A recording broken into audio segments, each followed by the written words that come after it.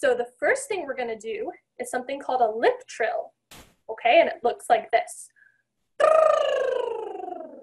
So this is a really good exercise because it helps you to connect to the breath and it helps to keep everything nice and loose as you're working through your voice, okay? So it's really hard to push and hurt your voice while you're doing a lip trill.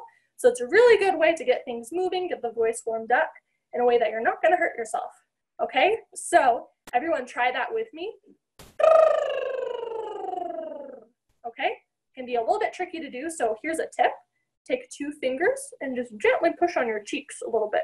Because if your cheeks are spread, it's gonna be really hard to do it. Okay, so you can use those fingers, just push in just a little bit to help keep your lips and your cheeks nice and loose. So try it again with me. Good, and we're gonna do an exercise on that like this.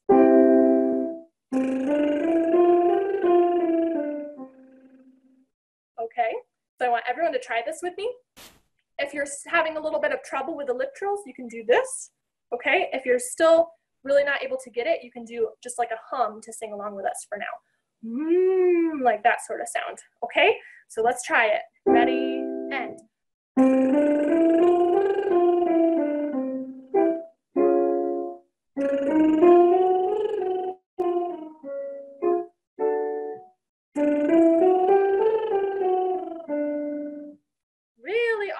So again, that's a really great, great way to warm up your voice, get connected to the breath, get things moving.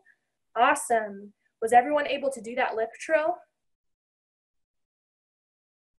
Yeah, really awesome. Okay, so next we're gonna sing on a hum sound. So I want you guys to try that. Um, think like you're singing on the letter M. Mm. Okay, and I want you to slide your voice around on that. Okay, and as we're doing this, I want to make you to make sure that you have a lot of space in your mouth. So try it first with your mouth really flat. Mm. Now try it with a lot of space, like there's a golf ball inside your mouth. Mm.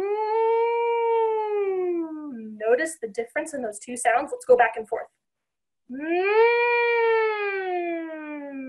That was no space, now lots of space. Mm. Good. Okay, so now we're going to do a slide sound on that hum like this.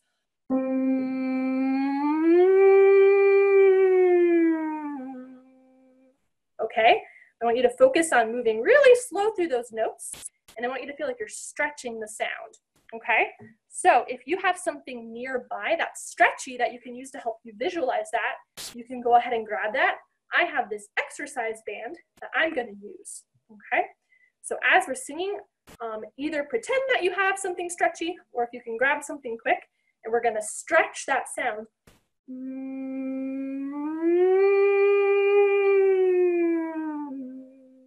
Good. Do a couple more. Try it with me.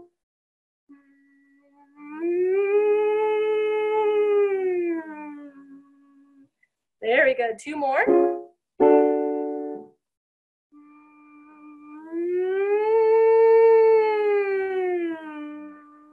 Last one.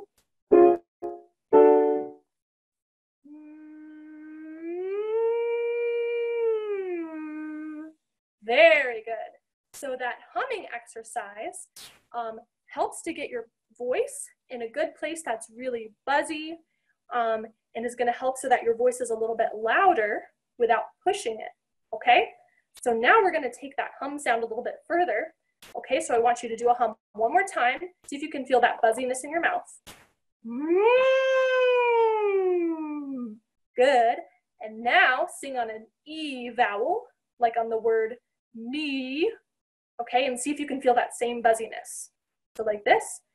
E. Good. Now do it on the hum. Mm. On the E. E. Is everyone able to feel that buzziness in their mouth as we're singing this? Very awesome. Okay.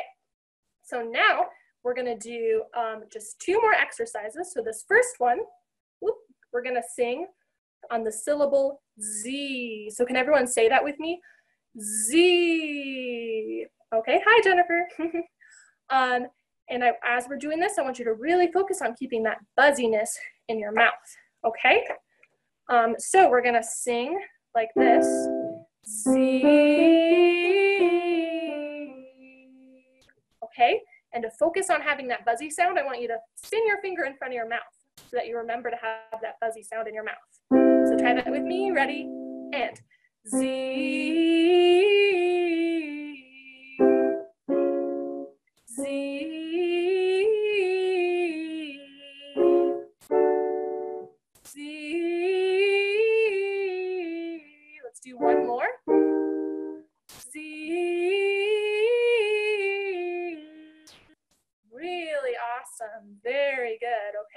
So those are some good exercises to help to warm up your voice, to help to get it in a good place that's nice and buzzy and strong, using the breath, not pushing, okay?